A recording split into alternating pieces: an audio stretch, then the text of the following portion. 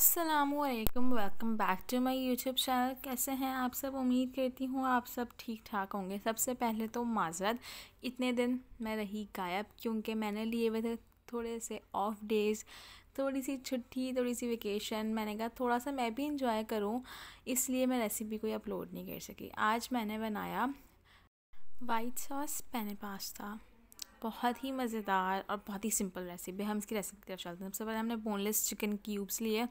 उसके अंदर मैंने थोड़ा सा तंदूरी मसाला ऐड करा वन टेबल स्पून के करीब। वन टेबल स्पून दही ऐड करा। पानी नहीं हो आपके दही के अंदर प्योर जो दही होता है ना, वैसा वाला दही हो वन टेबल स्पून दही।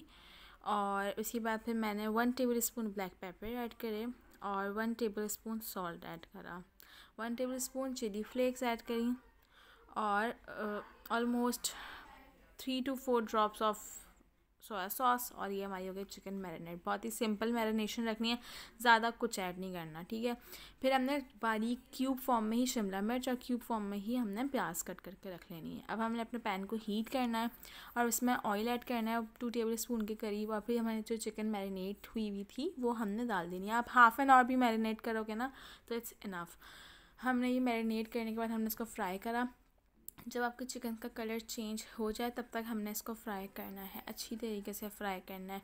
फिर हमने क्यूब फॉर्म में जो प्याज थी, वो ऐड कर दी और फिर क्यूब फॉर्म में जो हमारे शिमला मिर्च थे, कटे हुए, वो ऐड कर दिए। हाफ़ ही मैंने प्याज ली थी और हाफ़ ही मैंने शिमला मिर्च ली थी।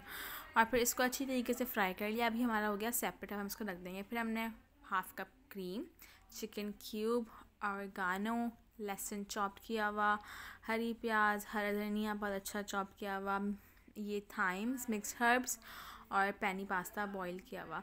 अब बाकी जो नमक, मिर्ची वगैरह, वो मैं आपको आगे दिखाती रहूँगी। पैन को अच्छी तरीके से हीट कर लेना है।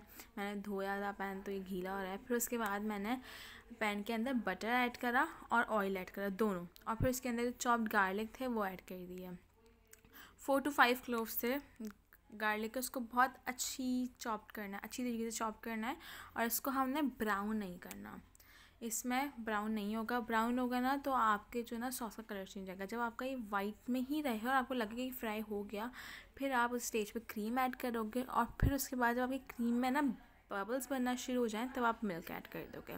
मैंने मिल्क अभी सारा ऐड नहीं करा। मैंने मिल्क अभी हाफ़ कप मैंने डाला और हाफ़ कप मैंने बचा के रखा है। फिर मैंने चिली फ्लेक्स और ब्लैक पेपर ऐड कर दिया और इसको अच्छी तरीके से हमने मिक्स करना है। मिल्क अभी इसलिए ऐड नहीं करा क्योंकि मिल्क आगे भी ज़रूरत पड़ेगी आपको ना। फिर ऑरिगानो ऐड करा हमने इसके अंदर और फिर हमने इसके अंदर चिकन क्यूब ऐड कर दिया।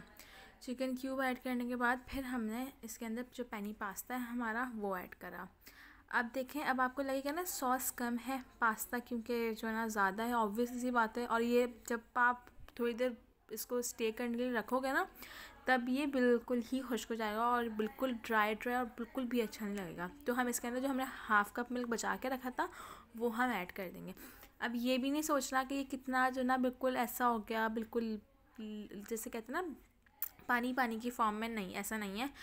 फिर हमने इसके अंदर मिक्स हर्ब्स ऐड करे, क्योंकि ये ऐसा इसलिए नहीं है, ये जब पकेगा ना, जब आप इसको रखोगे तो ये खुद ही जो पास्ता होता है ना, वो पानी, इसका दूध जो ना, वो एब्जॉर्ब कर लेता है तो वो बिल्कुल ड्राई हो जाता है। फिर हमने इसके अंदर जो चिकन थी मैरिनेट की हुई और मिक्सचर जो बनाया था, वो ऐड कर दिया और सॉल्ट ऐड कर दिया। एज़ पर योर टेस्ट आप सॉल्ट ऐड करो। और ये हमारा वाइट सॉस पैने पास्ता तैयार हो गया। अब आप इसकी कंसिस्टेंसी देखना। हर चीज़ परफेक्ट थी। ये मैंने पाँच मिनट इसको ढक के पकाने के बाद अब मैं आपको कंसिस्टेंसी दिखा रही हूँ कि मेरी हर चीज़ हर चीज़ परफेक्ट रही। ना मेरा सॉस बहुत ज़्यादा थिक हुआ, ना मेरा सॉस बहुत ज़्यादा मतलब जैसे कहते हैं पतला हो गया। नहीं, बिल्कुल परफेक्ट कंसिस्टेंसी अच्छी तरीके से मेरा मैंने पास्ता कोट हुआ हुआ था क्रीम में, और दैट्स इट मैं चलती हूँ, अब मुझे दें इजाज़त। मैं आऊँगी अब न्यू रेसिपी के साथ। तब तक के लिए अल्लाह हाफ़ अपना ख्याल रखिएगा और मेरी रेसिपी लाजमी ट्राई करिएगा और मुझे कमेंट सेक्शन में बताइएगा कि आपको ये रेसिपी कैसी लगी? Don't forget to subscribe and press the bell icon अल्लाह हाफिज़।